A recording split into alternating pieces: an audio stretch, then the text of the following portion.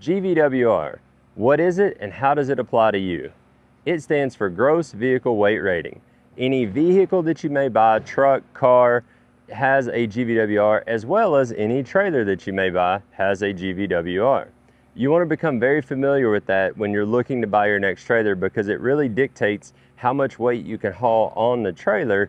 And so if you know you have a, a 10,000 pound skid steer or a 4,500 pound truck or a 20,000 pound bulldozer, you need to know what GVWR that trailer is and then what the, the dry weight of the trailer is to know whether you can haul that piece of equipment or not. A lot of times looks can be deceiving.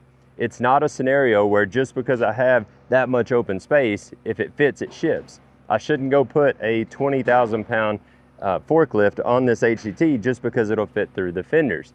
So you need to become familiar with the GVWR and how much it can handle. On this particular HDT, the GVWR is 14,900 pounds.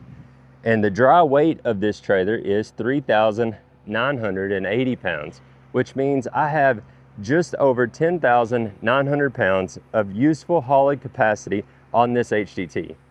So if I know I have a skid steer, say like a Kubota SVL 95 that weighs in the 11.4 range, 12 12,000 pound range, I would probably be best to go ahead and upgrade to a heavier GVWR option on an HDT because it is slightly would be overloading this trailer.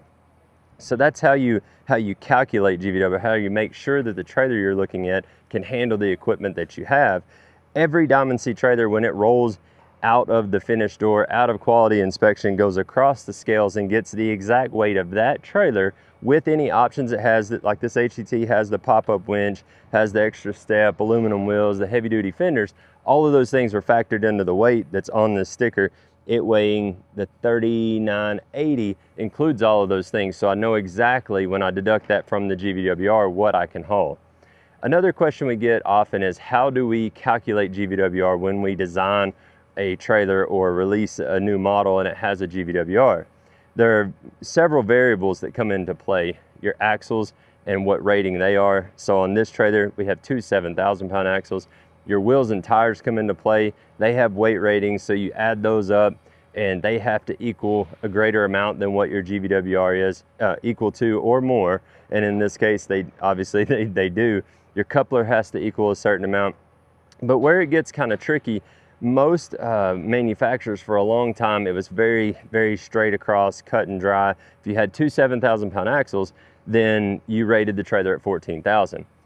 But what we started looking at years ago is the fact that you have the axles off center. They're not in the dead center of the trailer. If they were, it would not pull very good. It would be hard to distribute weight far enough forward. So the axles are actually slid back a little bit allowing us to actually prorate the trailer's GVWR. Being that they're not in the center, you wouldn't be distributing all of your weight right on top of the axles. You have transfer weight that goes over onto the truck, effectively taking weight off of the axles. So what we do is we prorate this trailer on bumper pulls, we prorate them usually up to about 15% and depending on the weakest link. So in this case, if the coupler is rated at 15,000, we prorate it up to the weakest link because the coupler always carries that stress. So in this case, it's 14,900 pounds, keeping it below the threshold of your weakest link. So you'll see on like big tandem dual goosenecks with two 10K axles, they have a, the coupler on them, on those is rated at 25,000. We prorate them up 25%. And so because the axles are actually further back than they are on a bumper pull. So throughout the model lineup, you'll see fluctuations of exactly how much we prorate them, and it just depends on the uh, component setup, the ratings of the components, and what uh, each individual manufacturer of those components rates those at. For more information on GVWR and other useful articles, jump on diamondc.com and check out the Learning Center.